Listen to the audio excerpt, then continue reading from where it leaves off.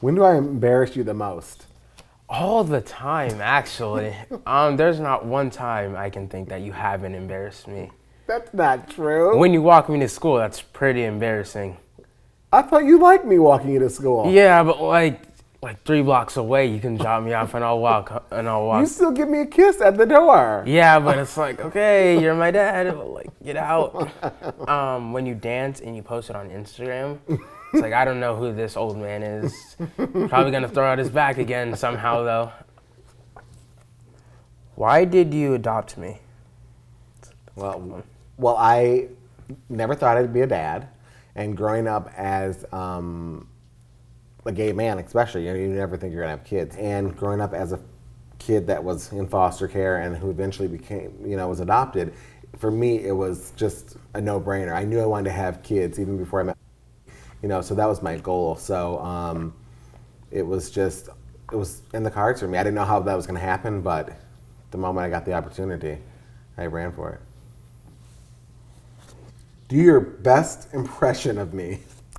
Um, Oh, there's a lot. You- yeah, there's so many. Um, Cyrus, why isn't this done? Why isn't that done? Clean your room, do the dishes. What happened at school today? Was there an argument? Oh, I heard you fell asleep in class. Oh. so you need to get home and do your homework. Thanks. Okay. What is a talent or gift of mine that I'm not aware of? I don't think you are aware of how intelligent you are. I think because, like I said earlier, you're more like, oh, I can make a joke right now, or I can take a note right now from the teacher, and you're typically gonna go for the joke because you get more accolades from your boys or you know or the girls Just, in class. just say friends. you know, your friends, sorry. Um, I think if you concentrate and pay attention, you'll blow yourself away, you know.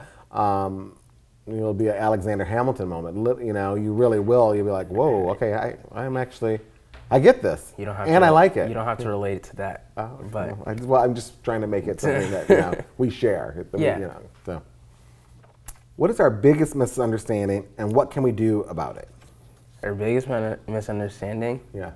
this seventh grade year. Uh, it was just. I'm not gonna curse, but it was such a trash year. Like the fighting and everything like that, uh, the homework, uh, finding out who I am. I guess uh, feel like there was a bit of a misunderstanding there. In what- in what way? What do you mean?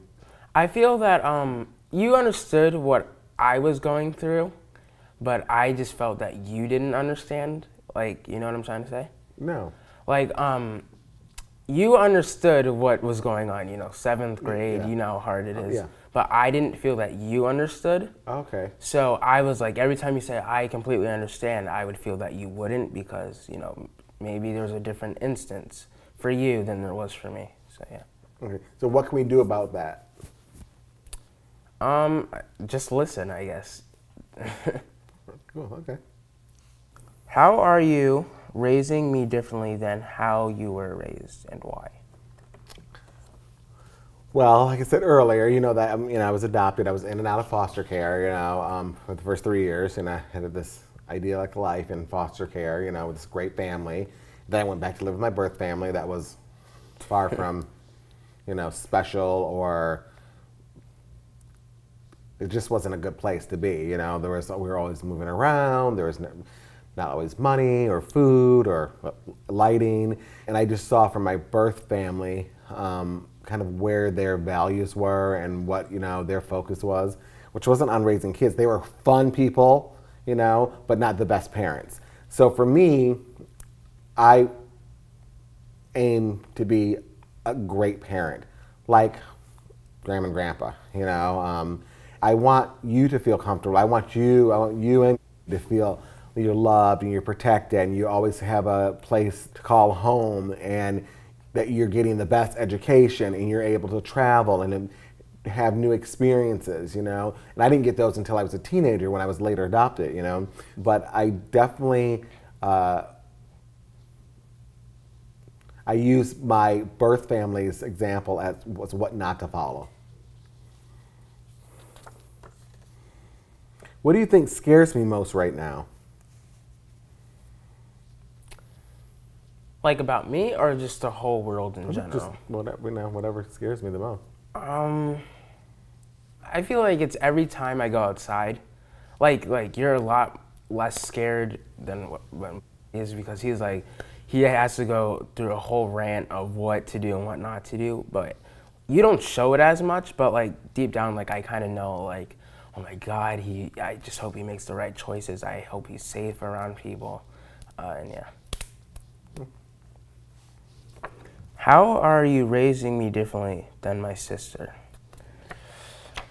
Ah, that's a that's a good question. So that is a good question. Um, this is something where I try not to like really differentiate between you and you know because you're both humans, you know, and that's why I try to you know approach it. Um, but I think for you, like I said, like I definitely have that. Like I, I have to protect you from the world, especially nowadays, being a young black kid, not necessarily looking 13, you know, and people's perceptions of who you are, what you are, what you, what they think of you, you know, and whereas your sister, I just have to protect her from boys at this at this point, you know, and then so I'm, you know, um, other than that, I try to be pretty, you know, you can sweep the sweep the kitchen or you know or cook or you know clean the bathrooms just like she can or just like I can.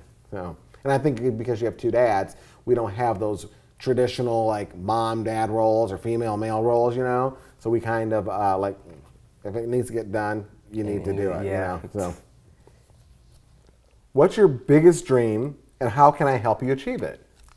My biggest dream. Oh, I have a lot of dreams right now. Um, What's your biggest one? my biggest dream right now is just grow up. I get grow up uh, to be an adult, graduate. Uh, wait, you graduate college, right? Yeah. Yeah, okay. graduate college, um, just have a stable life, you know. Um, I thought your biggest dream, that if I can interject, would be to play football. Yeah, that would. I just didn't want to say it because we. Okay, well, you, you said, dream. You said no discussion. You said I'm not budging, so I said okay. But it's still your dream. You can Yeah. dream to play football. Just That doesn't make it better. That just makes me more sad. It's just, Oh, sorry. just showing that it's never gonna happen. Um, um, just yeah, just a stable family that loves and cherishes me. cool. Perfect. What's the pain in me you wish you could heal?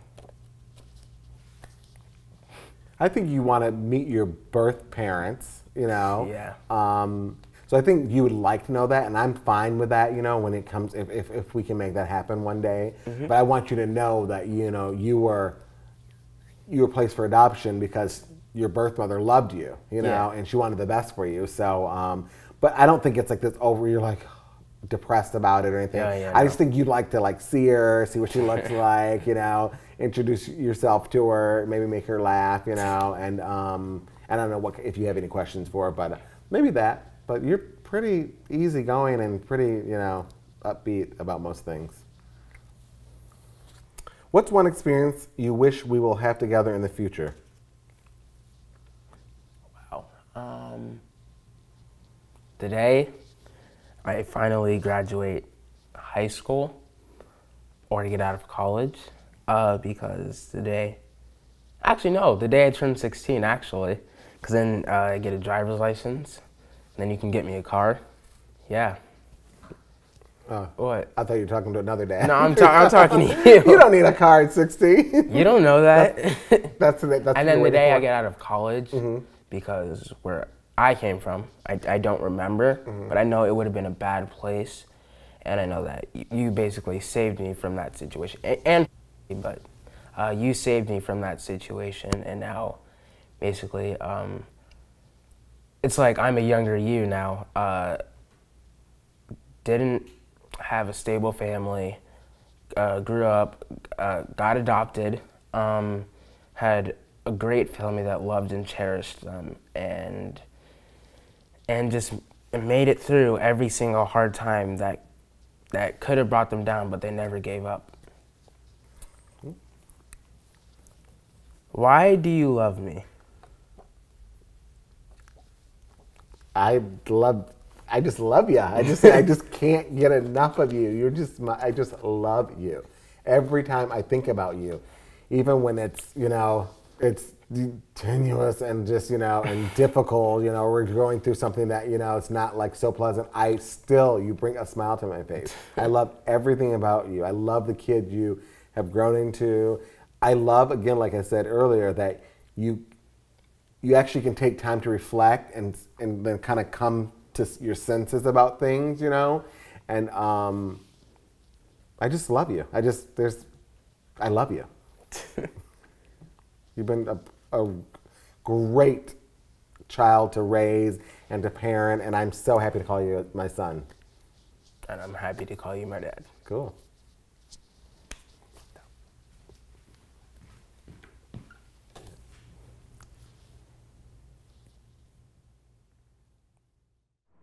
Thanks for watching. If you feel these videos are important or have an impact, and you want to see more because we want to make more, we want to explore new stories and new relationships, support us on Patreon so we can keep bringing them and sharing them with you. Thank you very much.